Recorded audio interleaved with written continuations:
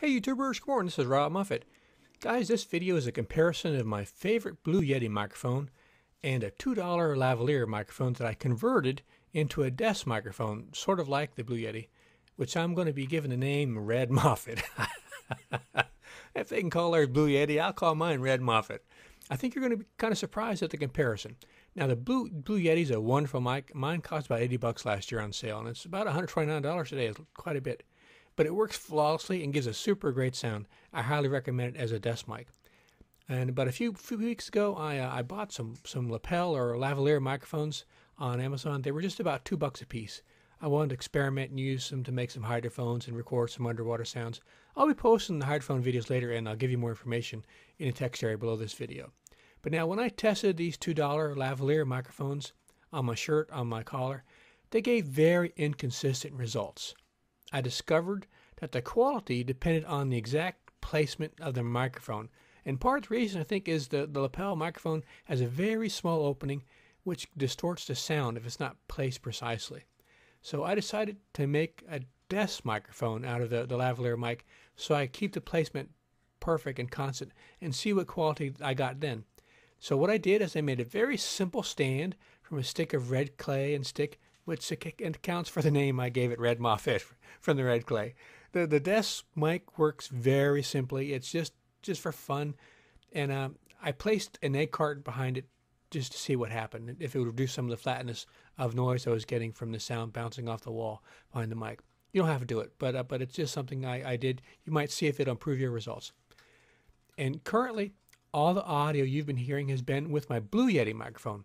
Now, after this point, all the audio will be from the Red Moffett microphone, the desk microphone I made, and you can hear the difference. And later, plus I'll record another sample of Blue Yeti at the end. So I hope you guys give this a try. If you need a very low cost desk mic, I think you'll be surprised. The following is the audio from the $2 desk mic. All, the stuff you hear from Mount Ellen is going to be from the $2 desk mic and not the Blue Yeti. Okay, YouTubers, this is the sound quality I'm getting from the $2 microphone, or the Red Moffett as I'm calling it. It's a desk microphone with a little $2 lavalier or lapel microphone. And the quality is not as good as the Blue Yeti.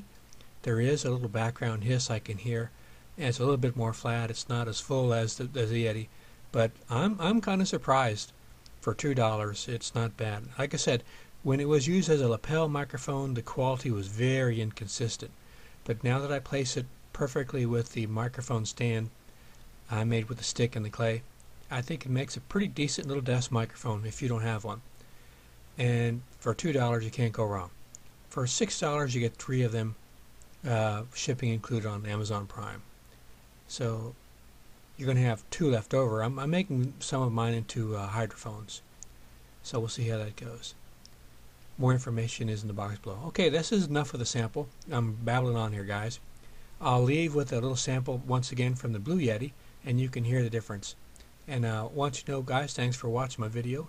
And I have new videos every week, and I've got over 400 mostly do-it-yourself videos and a lot of interesting playlists on my channel. Hope you check them out. All right, guys, here's the final uh, Blue Yeti um, uh, sample. You can tell the difference between the two. Hope this helps.